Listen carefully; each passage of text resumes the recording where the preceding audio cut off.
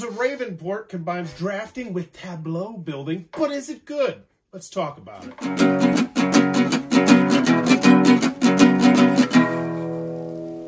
What does that even mean, Bowers Game Corner? Ahoy there, YouTube! We're back again for another Thoughts from the Corner. I'm here with my good friends, Ronnie, Lucy, and Adam.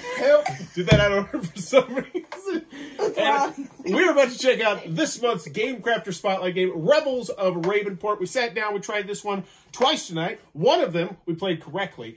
And in this game, this is a drafting game with a relatively simple drafting game. So you're going to have this main board right here. You're going to have cards down here on the buy row, and they're going to have a certain cost on them. And if you buy these cards, these are going to allow you to do more damage most of the time to a row of monsters that's going to be on the top.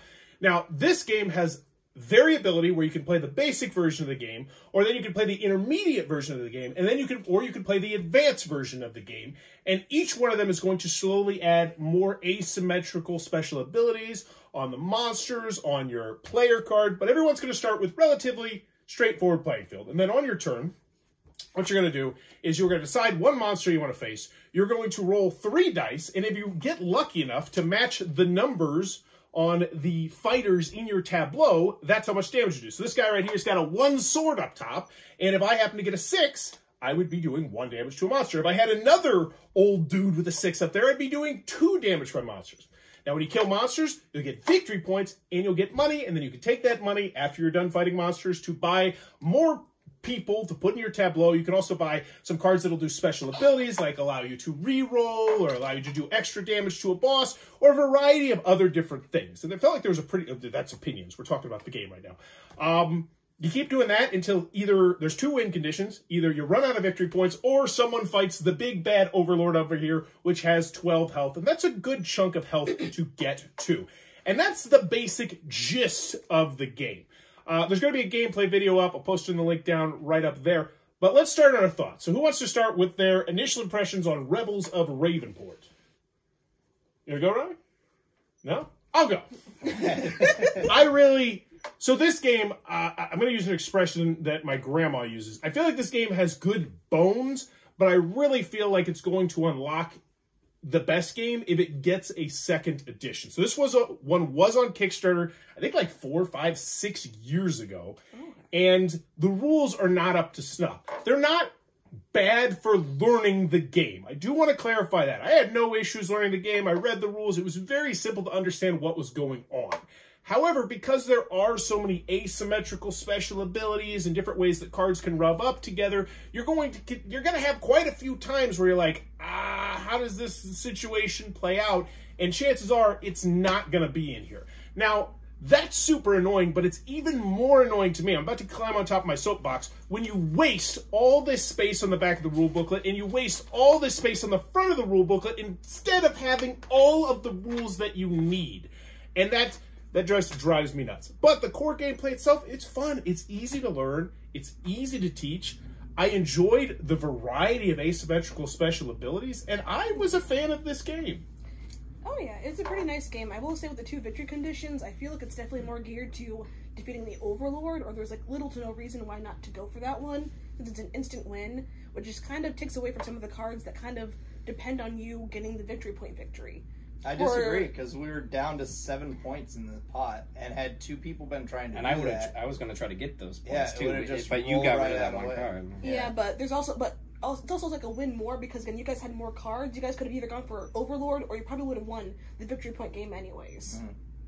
So and like certain asymmetrical cards, like there's a one card that says like, hey, you double the points of artifact cards. When most of them, at least the ones that we saw, we went through the deck quite a bit, are only worth one point. I will. I definitely agree to that. It definitely feels like some of the asymmetrical special abilities feel better than others' asymmetrical special abilities. I, I definitely was thinking that, but then I was thinking, there's a bunch of good ones though. Like I thought, There is at least four of them were like, wow, that's really good. But then, so I feel like all- all maybe I don't because I don't know all of the abilities. There's but six. The one At least gonna- four of them are like, well, that's really good. Well, when you So have if one of the other really two, good, it feels bad Yeah. because I Yeah. had. and even the just the oh, if you keep it and you get like the A side, isn't that bad anyway? The A side's pretty nice. It gets Wait, you more money. what was the what was, what was your bad one? Uh, my bad one was the uh, the bad thing. oh. I don't remember. the one? This was hours ago. Yeah. The one I was remember is the one that I got with it just like, hey, your victory points for that double, and it's like, well, if no one goes for the victory point victory, my ability is now useless. Yeah. yeah, that one sounds Yeah. pretty bad. Well, it's, it's Don't also get, a matter don't play with that one. yeah. like So there were a lot of different cards in there and they did a lot of cool things. Like you could just get uh, warriors that that do cool stuff and work really well together with certain artifacts that you have. Yeah. like uh, there was the one that had i got it i, I would have been able to just be like all right we're gonna kill this guy get money and then i just buy points. Mm. and i could have just kept doing that.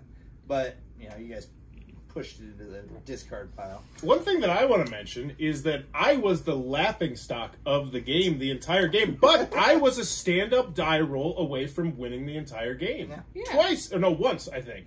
So I definitely feel like the game overall, it feels. And then you had a stand up die roll at one point too. You had a stand up die Yeah. roll. So I feel like there's definitely some exciting moments in here that could potentially be had. Some of us the won in pacing felt right to, in this game I do gotta say, a, a big negative for me is I feel like the game is very dependent on the cards that come out, um, the lower cards. Because I, I was rather upset that second game that the cards that, uh, like, for every one you have, this does a damage. Yeah. Th- that- those cards, I don't know what you call those cards, but there's cards that say, because uh, all these cards require a number, so this one's a three, but some of them, and there's one for each die, it says for every three you have, this does one damage. So if you have three threes, then that card does three damage.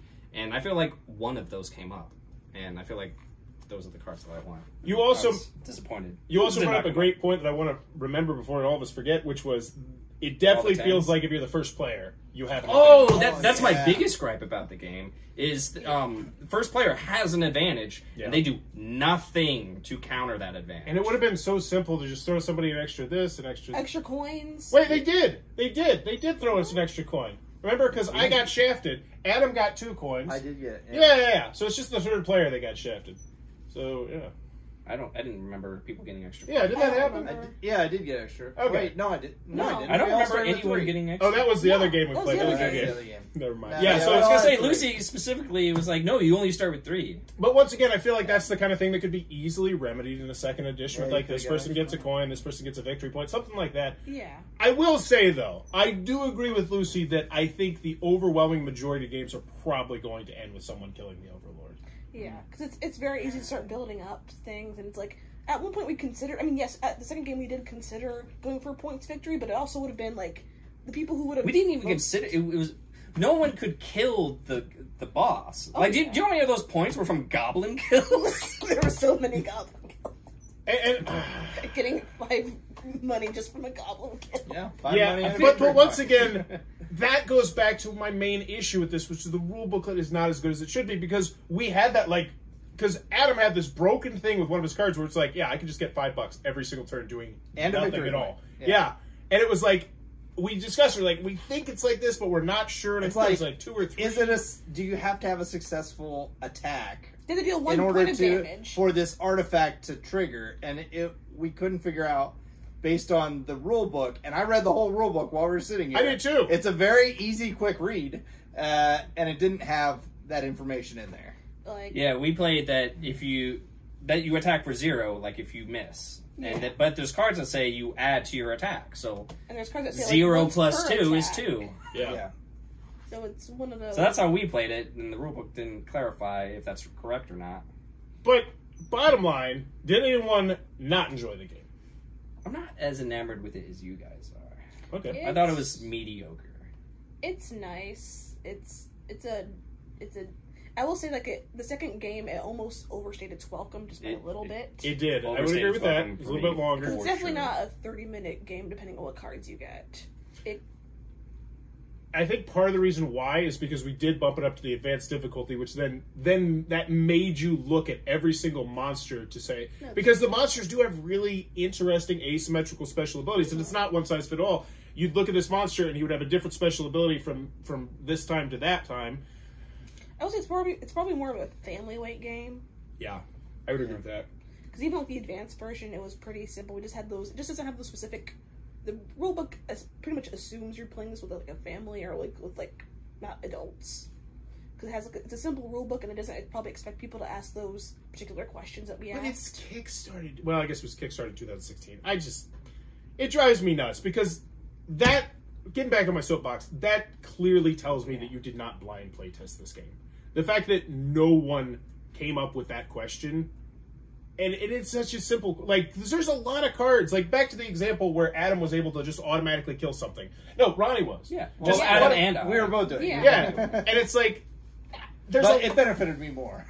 I don't Okay. know about that. I had a plus little bit of three from very. I had plus two from the first round, Ronnie also and won then twice plus in that three game. shortly after that. yeah, but as far as like how many victory points you had, how much uh, I also won the game. attacking guys. Yeah, but, but you it was first player, close. yeah. It was it was very also, close. we did roll it around, and I would have also beat it on this with the same number of turns. and I would have also had the chance to beat it. Okay, so here's the ultimate question. At the end of the day, I was asked in these videos: If I were to hand you this game, would you make it into your collection?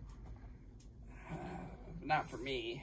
For me, because actually, like now my family's doing more game nights, I would consider it. Okay. Hmm. It's not that bad of a game. I It's not. just- It's, not, uh, it's yeah, not a bad game. I, I think I would take it. I think my boys will enjoy this eventually. Yeah, I'm, I'm excited to play this with my nine-year-old, and like I said, again, I feel like it has good bones. I just feel like a second edition would unlock it. Maybe a couple extra cards, some clarifications, uh, so maybe some tweaks to here. Just especially on on the text of the cards. There's sometimes where it's like if you just would have put an extra. I said it like literally. If you would have put two extra words on a card, it would remedy any Oh yeah, confusion. no, oh yeah. that- no, no, I that still one- have no idea what that card meant. No, remember that one thing where it's like if you play the advanced version, this card that had this old power now flips over the card to make it weak, make a monster weaker. Like that should have been on the card. Yeah. Oh yeah.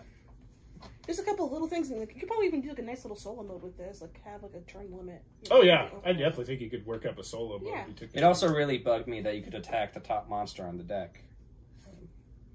Was that? I just put it on the board.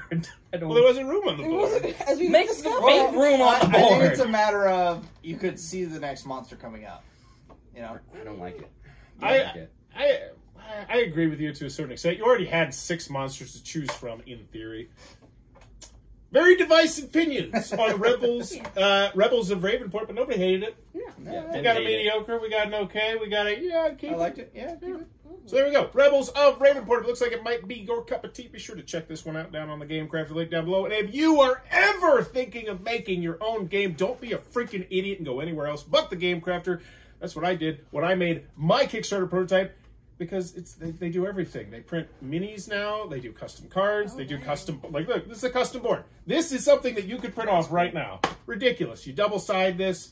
They're fantastic. Check them out. Plus, they sponsor the channel, so I'm going to be a shill no matter what. But I would be a shill even if they didn't sponsor the channel. As always, if you enjoyed the content, please be sure to click on the subscribe button down below. I'm trying to reach 17,000 subscribers in 2023 to make it my biggest year ever. And as always, thanks for your time, YouTube.